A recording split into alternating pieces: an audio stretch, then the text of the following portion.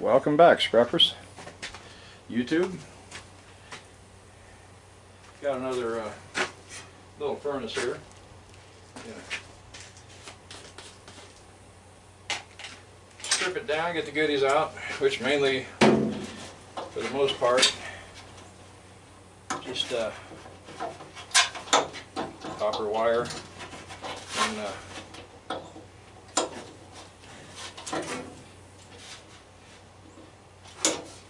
pretty much copper wire. Then we got the squirrel cage fan. This one might be a little more of a challenge getting that squirrel cage fan out. A lot of these are kind of difficult. It's kind of a short little unit, so I put it up on milk crates, so I wouldn't have to bend over quite as much.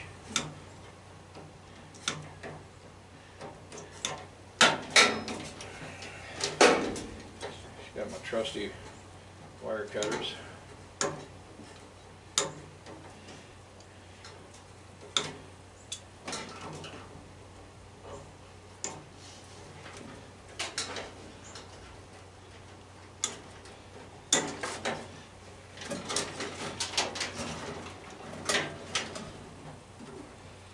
I think the summer months are the best months for scrappers because uh, that's when a lot of people do their clean a lot of stuff out of the yards, sheds, attics.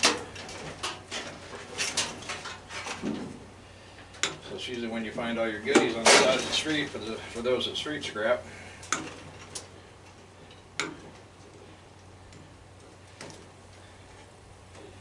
Wintertime, people don't want to get out of the house, it's too cold. Or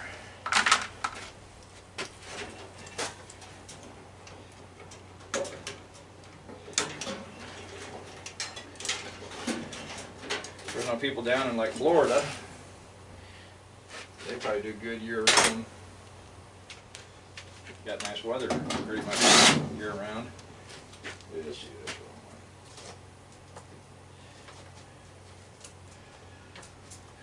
one. A lot of the Midwest and northern states gets pretty cold. Probably kind of hard to street scrap. You got three feet of snow flip that thing over where I can see.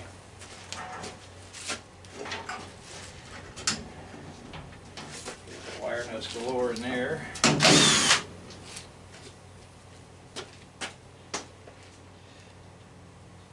Man, it's stuck. Went by Harbor Freight. I take my wife down to Atwood to get some flea shampoo and stuff for the dog, so went by Harbor Freight. If you got the Harbor Freight app, they got these uh, four inch magnetic dish for like 63 cents, limited three. But then they also have a coupon in there for 99 cents a piece and they didn't have a limit on them. So I just grabbed three for now. They always come in handy. A lot of times I'll strip something down and put the screws in them and then I just hang on to them for a while. Eventually throw them away or find something to put them into.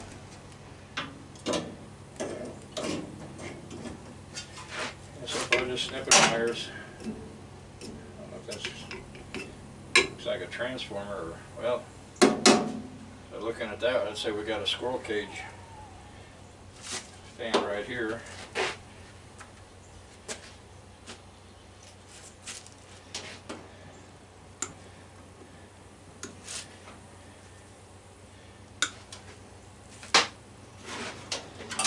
Got a wire going up under there for some reason.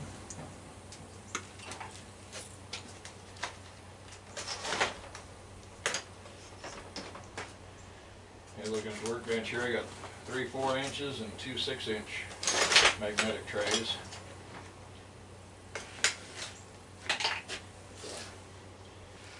Need to clean all those up and out one of these days.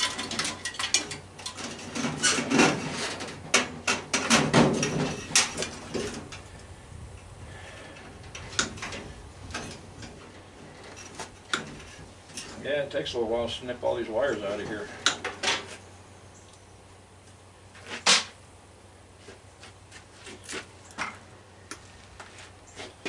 And Up. I don't know. Yeah, curious, I'll have to write down and make a note of how many pounds I get in that. What I'm doing, I'm throwing all the power cords into one barrel. And then all this like wiring harness stuff out of washers, dryers, stuff like that, I try to throw it into another barrel.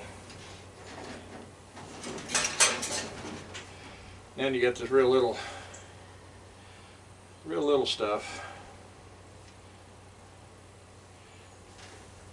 Has solid core, I could prob, I might even be able to strip that.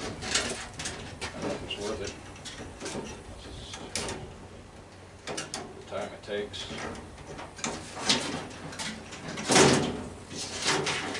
So, this is probably just going to low grade. I got a barrel out there for low grade wire, so. And that right there.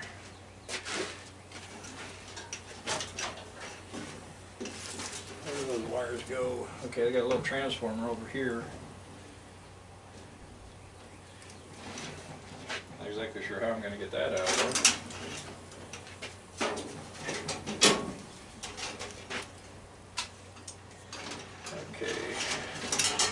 What have we got here? Couple wires going to that switch.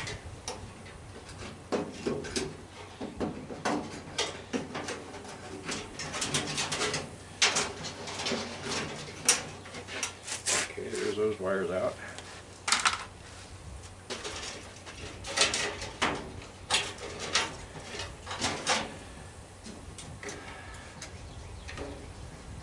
And cut these little plastic retainers if I can. Almost need some of these to go on ninety degrees.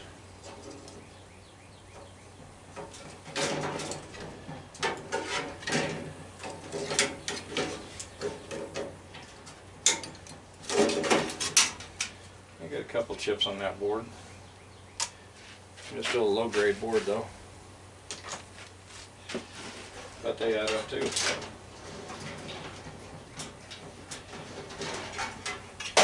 Okay, these wires go over that way. So we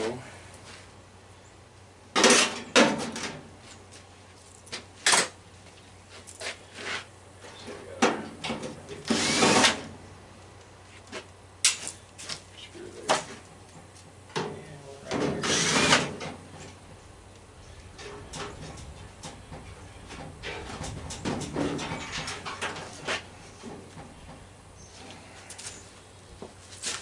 Kind of trying to see how that fan is held in. I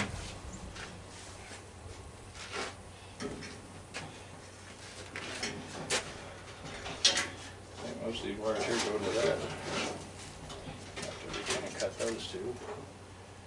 Uh, Looks like it slides under some stuff there. I don't really see any screws holding it. It looks like it has to slide out this way, so I may have to eliminate that if I can. I go chimney. Yeah, I got a couple. At three, four, four screws holding that in. I don't know what the deal on that is. It just shows the fan spinning or something. Something like that. Okay.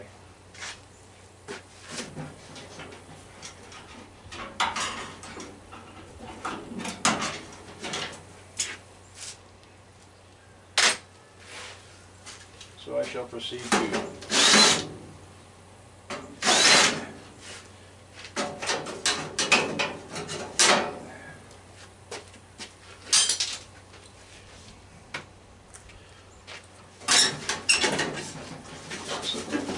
Set this thing down.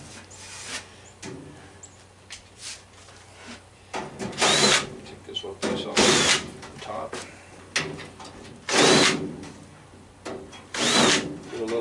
Here.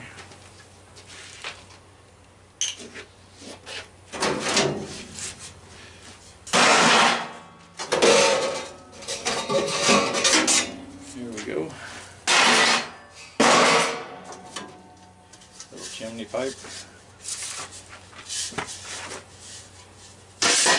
Never know when you're gonna need one of those, right? Okay, now I can get to this transformer here. Snip the wires.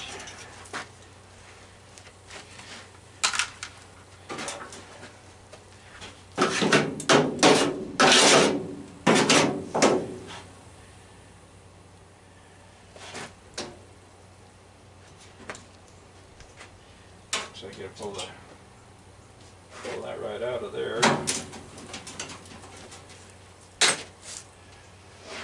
Oh, let's see, I'm gonna have to get in there and pry.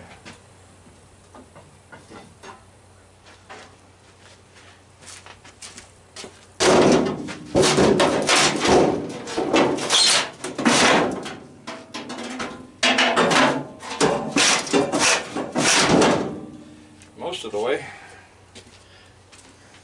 That worked out pretty good. I was wondering, is it gonna work or not?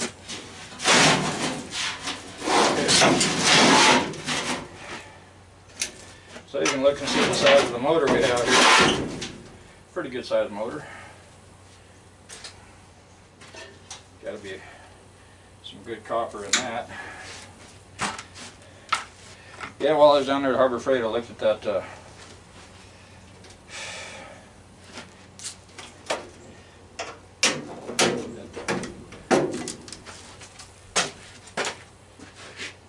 I did anyway. Looked at that bandsaw and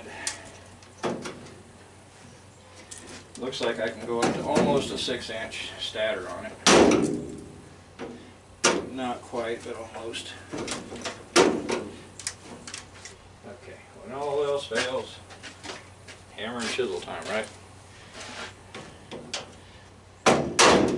Doesn't want to go through. Doesn't want to go through, force it through.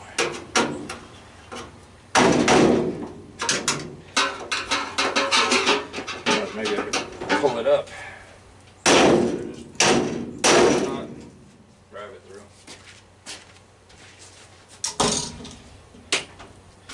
The method doesn't matter, it's the results that count. Right? I'm not sure what I got under there.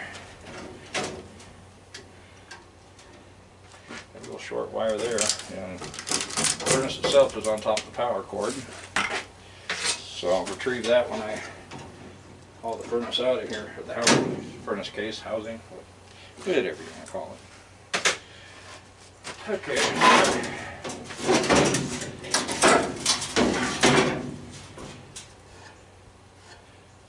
That's a little bit rusty.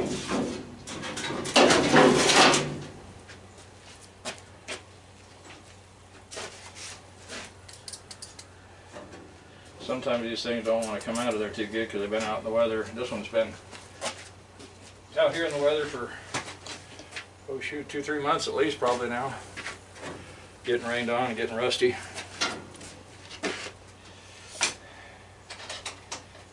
Now, uh, the nuts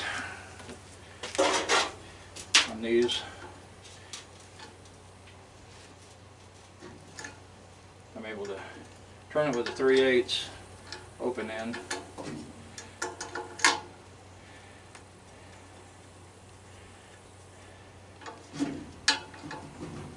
One thing, even if I could get that and push it this way, you know, this side on here really got nowhere to go. So a lot of times what I'll do, I'll take my air chisel and I cut around here. Cut me a big opening. Which, uh, by looking at this,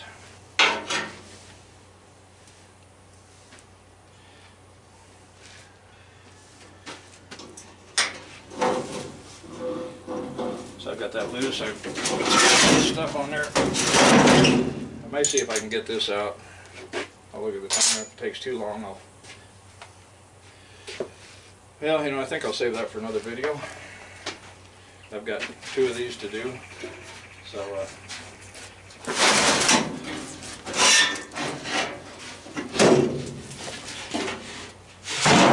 I'll just set that right there for the time being. So we got, got the squirrel cage fan out.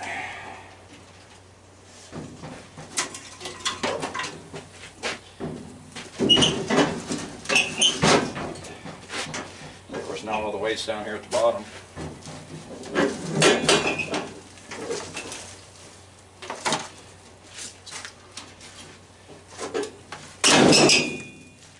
Okay.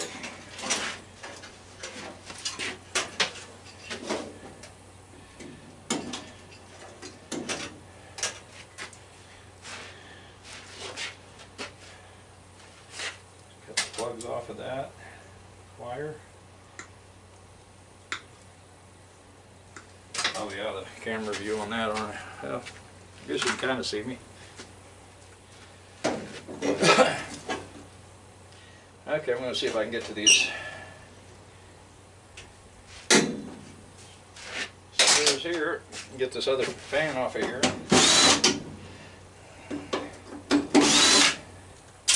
It's only got a little copper in it, but, so if it's too much trouble.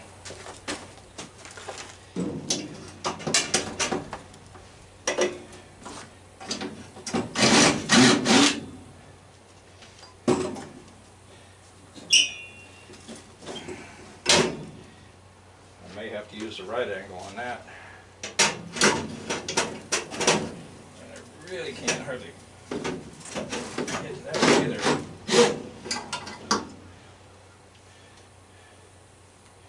Well.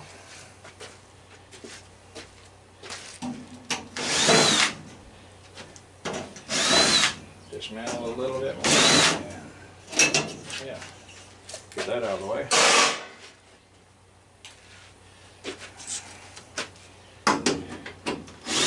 Yeah, get that with it with ease now. All right. Uh, this is kind of in the way. Getting that one there.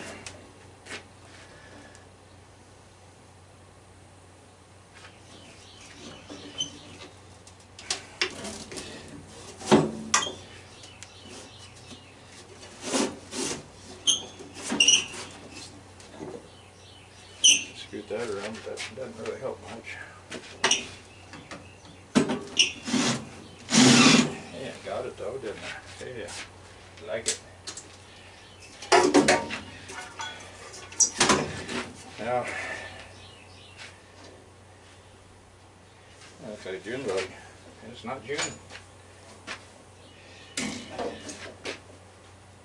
One thing I noticed on these things, you got a little vacuum tube here, so apparently the fan creates a vacuum.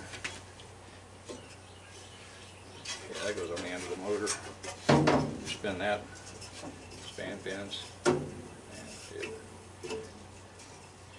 Okay. Anyway, we got a little bit of copper right here. So you got a little copper right there on it. Not a whole lot, but put that right there for now.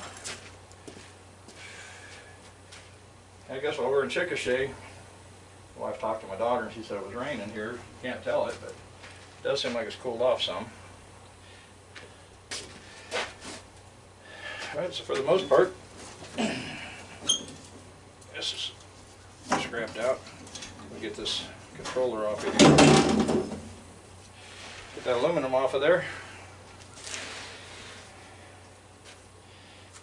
Which, have to melt that down, but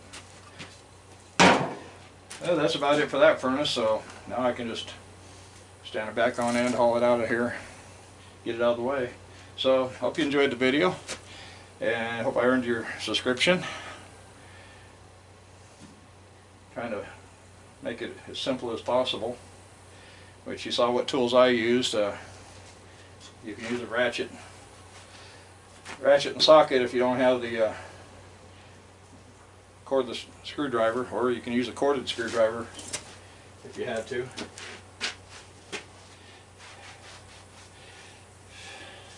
Like I said, this is more of a hobby for me, so make some money, then have an excuse to buy more tools. Of course, my shop, I got so much stuff in here now, I gotta move some stuff out, bring, make room for more tools.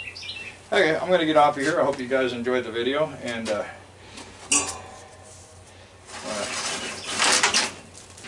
welcome you to come back and oh, welcome you to subscribe and see more of the upcoming videos. I hope as time goes on I get better at doing videos and give more useful information, not just babbling. But I'm an old man, so I'm supposed to tell stories, I guess. That's another thing I save a lot sometimes. These little connectors here that clamp down. Time to time I need them for a project. Because I'd like to take some of the scrap I get and, and try to make things out of it. So, pressure's kicking in, so I'm going to get off of here and see you guys in the next video. Bye-bye.